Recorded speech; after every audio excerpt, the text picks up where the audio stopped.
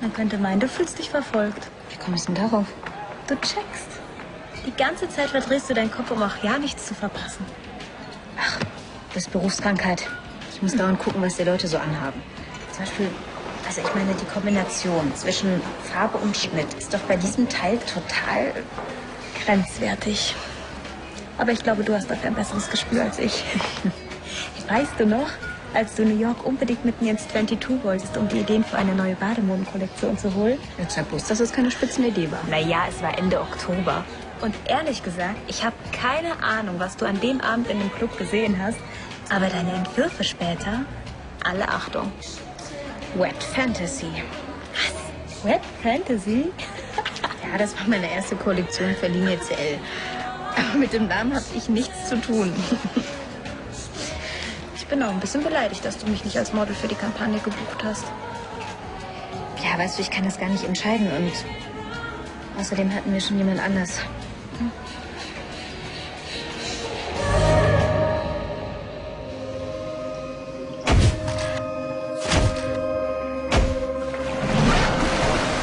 Hallo. Erde an Rebecca. Oh oh, an wen auch immer du gerade denkst. Der Lady scheint deine Bikinis aber auch ganz gut zu stehen. Hm, sogar ziemlich gut. So schlimm? Schnee von gestern. Was meinst du? Machst du an?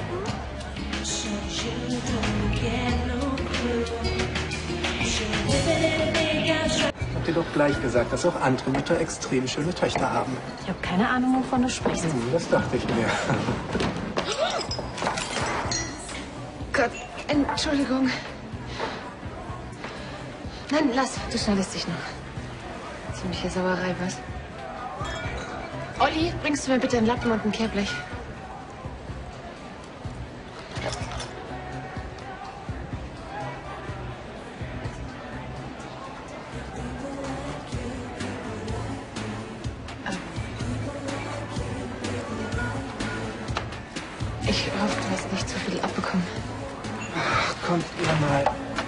Weg hier, Josie. Ähm, würdest du mir noch mal das Gleiche machen für, für Rebecca und Juliette? Richtig, wir haben heute zusammengearbeitet. Sie ist nett. Und was willst du damit sagen? Nichts. Ich finde einfach, dass ihr gut zusammenpasst.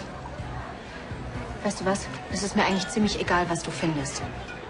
Und es geht dich zwar nichts an, aber Juliette und ich sind nur gute Freunde. Nicht mehr und nicht weniger. Und genau das können wir beide eben nicht mehr sein. Und jetzt lass mich bitte in Ruhe. Mock dich nicht. Ich habe heute Morgen nur die hier im Studio liegen lassen. Und als ich dich hier gesehen habe, alleine und traurig, mit gebeugtem Rücken schuftend, da konnte ich einfach nicht anders. Ich musste dir Hallo sagen. Es war wie ein Zwang. Du lächelst ja wieder. Und ich habe schon gedacht, ich hätte dich für immer verschreckt. Du doch nicht. Dann stellt sich aber die Frage, wenn nicht ich, wer dann? Die Arbeit. Ich habe in zwei Wochen eine Präsentation und meine Kollektion ist ein Desaster. Du lügst. Wenn deine anderen Teile nur annähernd so gut sind wie das hier, können die nicht der Grund für deine Stimmung sein. Sprich die Fachfrau. Ein bisschen kenne ich dich ja mittlerweile doch. Jetzt sag schon, wer ist sie? Welche Kuh hat dein hübsches Herz gebrochen? Niemand. Ach, jetzt hör mal auf. Sie hat eine andere. Volltreffer. Sie verschmäht dich wegen irgendeinem dahergelaufenen Mädel. Kein Mädel. Ein Mann. Shit! Was habe ich dir immer gesagt? Finger weg von den Heten, die machen nur Ärger. Weißt du, was wir zwei jetzt machen? Wir brezeln uns jetzt auf und dann gehen wir heute Abend so richtig tanzen. Was Besseres gibt es gar nicht gegen Liebeskummer. Sorry, aber ich muss wirklich noch was tun. Okay, dann helfe ich dir. Und als erstes ziehe ich nur für dich diesen Traum von Petzen an, damit du endlich erkennst, was für ein scharfes Teil du da entworfen hast.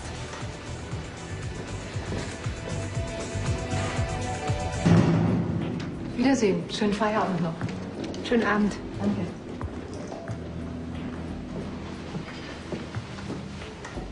Nicht schlecht, oder?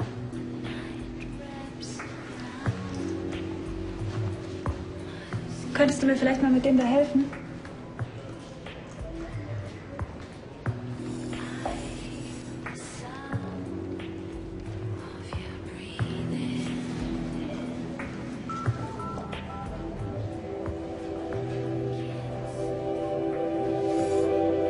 Was ist? Ich glaube, so müsste es gehen. Soll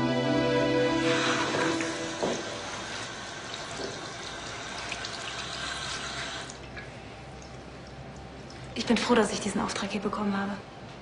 Ich wollte dich sowieso schon längst mal besuchen. Nachdem du dich ja nicht mehr von mir verabschiedet hast. Ich habe mich fast von niemandem verabschiedet. Das Angebot hier aus Düsseldorf, das kam so plötzlich. Ach, kein Problem. Ich weiß doch selbst, wie das ist. Außerdem wusste ich sowieso, dass wir uns irgendwann mal wiedersehen. Wusstest du das? Wie gesagt, früher oder später hätte ich dich eh besucht. Schön, dass du hier so viel Erfolg hast. Das Kostüm, das du für Marlene entworfen hast, das ist der Wahnsinn. Ja, lass uns nicht schon wieder über Klamotten sprechen.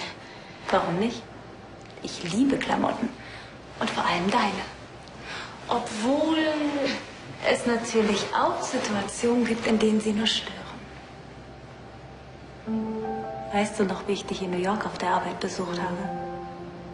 Wir waren in deinem Atelier hinter dem Vorhang. Uns jeden Moment jemand hätte entdecken können.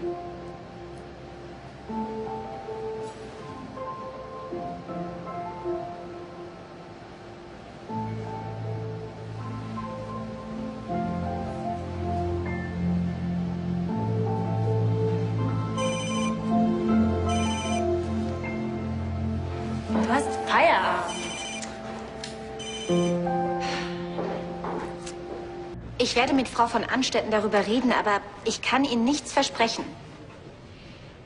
I can't promise you anything. Ja, gleich morgen früh. First thing tomorrow. Right. Hi, Sayonara. Shitsu shimasu. Harte Nuss, oder? Das kann man wohl sagen. Manchmal muss er wirklich alles geben, um verstanden zu werden solange es den gewünschten Erfolg bringt.